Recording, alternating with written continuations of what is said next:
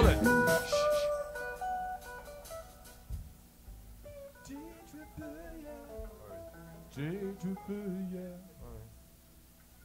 You want to do that there at all?